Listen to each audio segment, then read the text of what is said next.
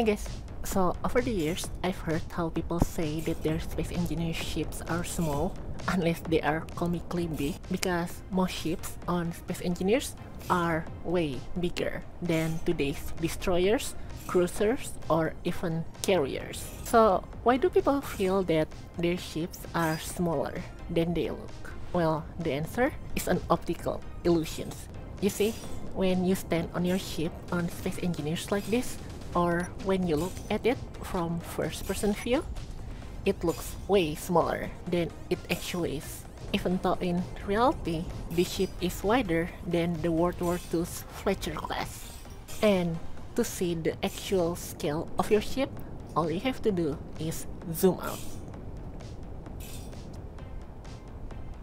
And now you can see just how much bigger your ship is compared to you. And the same is also true when you look at it from above. The same illusion can also be seen on real ships when you look at the sailors standing from far away and from when you actually stand on the deck. So yeah, that's why your space engineer ships look smaller than they actually are.